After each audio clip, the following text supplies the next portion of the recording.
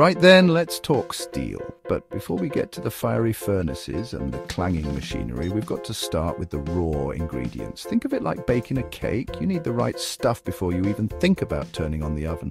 First up, we've got iron ore. This stuff is dug straight out of the ground and it's basically rock with a good bit of iron trapped inside.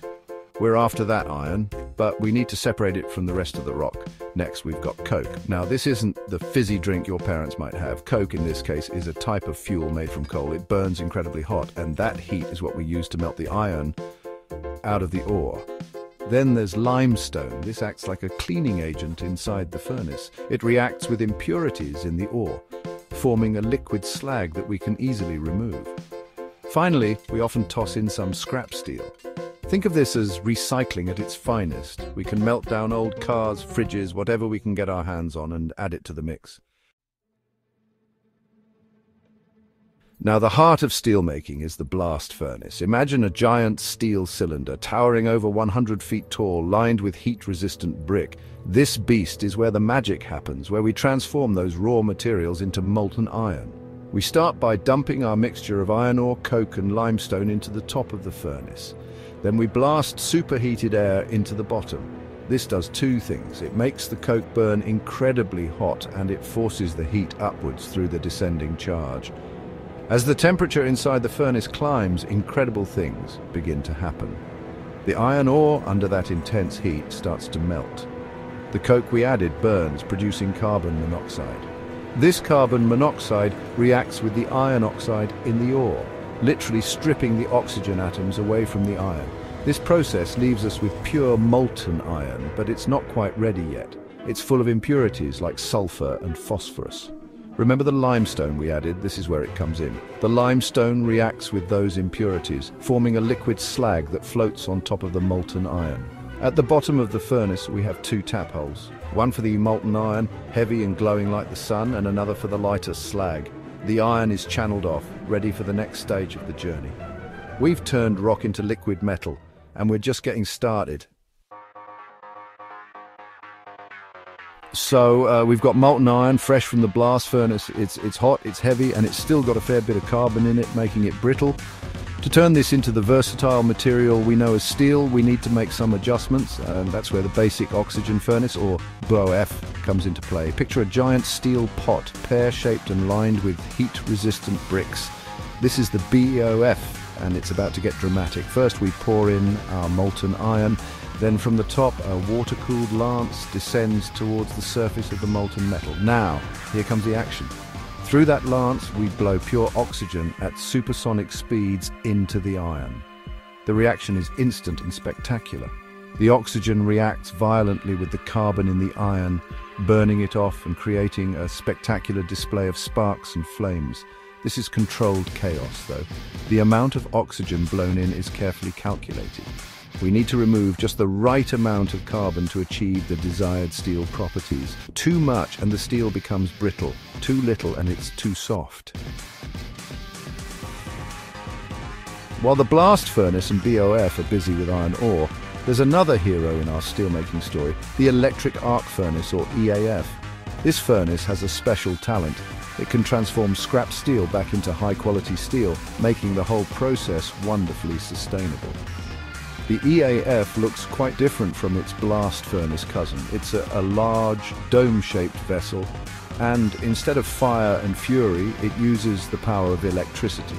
We load the furnace with scrap steel, old cars, washing machines, you name it.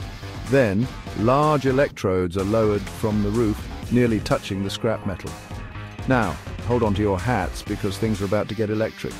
A massive electrical current flows through the electrodes and arcs across the gap to the scrap metal. This generates an intense heat, enough to melt even the toughest steel. The EAF is a marvel of efficiency and environmental friendliness. It uses less energy than the blast furnace route, and by recycling scrap, we conserve natural resources and reduce mining activities. Section 5. Ladle Metallurgy Refining the Recipe. Whether the molten steel comes from the BOF or the EAF, it still needs a bit of fine-tuning before it's ready for prime time. That's where ladle metallurgy comes in. Imagine a giant refractory-lined bucket, the ladle, holding tons of liquid steel. This isn't just a container, it's a mobile metallurgical workshop. First, we need to remove any lingering impurities. We inject powdered materials into the ladle, which react with unwanted elements like sulfur and phosphorus, pulling them out of the steel. This process is called desulfurization and deoxidation. Next, we adjust the steel's composition to meet specific requirements. Want a stronger steel for construction? Add some manganese. Need a corrosion-resistant alloy for pipelines? Toss in a bit of chromium and nickel. This precise control over the alloying elements is what gives steel its incredible versatility. Section 6 Continuous Casting Shaping the Molten Flow. We've cleaned it, we've refined it, and now it's time to give our molten steel a more manageable form. This is where continuous casting comes in. Forget traditional molds. This process is all about continuous flow. Imagine a bottomless mold, open at the top and bottom, constantly moving downwards. We pour the molten steel into this mold from the top. As the mold moves down, the outer layer of the steel starts to solidify against the water-cooled walls. This process continues and what started as a river of molten steel gradually transforms into a solid steel strand emerging from the bottom of the mold. This strand, still red hot, is then cut into manageable lengths, ready for the next stage of its journey.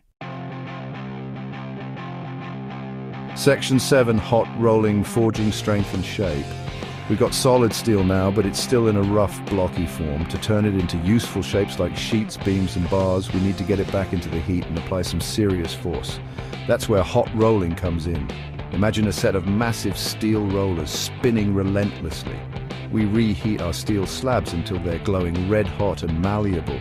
Then we feed them through these rollers, squeezing and shaping the steel with incredible pressure. With each pass through the rollers, the steel gets thinner and longer.